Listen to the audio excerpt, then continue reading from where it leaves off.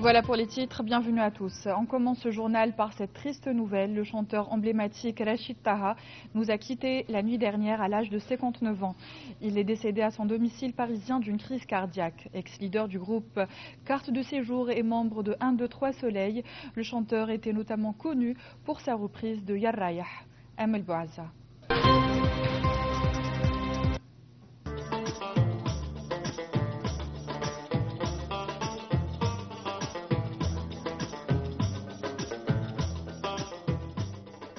C'est dans la nuit du mardi que le chanteur Rachid Taha s'en est allé à l'âge de 59 ans d'une crise cardiaque durant son sommeil à son domicile de la région parisienne. Né à Oran, avant d'atterrir en Alsace à l'âge de 10 ans, Rachid Taha mêlait toujours dans sa musique des influences de son pays d'origine. Au début des années 1990, il se produit en solo. En 1998, il reprend la célèbre chanson Yarayah, hymne des immigrés algériens, composée par le défunt Ahmed al-Harashi. S'en est suivi le succès de 1, 2, 3 Soleil, réunissant Rachid Taha, Khaled et Faudel. Depuis, Rachid Taha n'a jamais cessé la musique.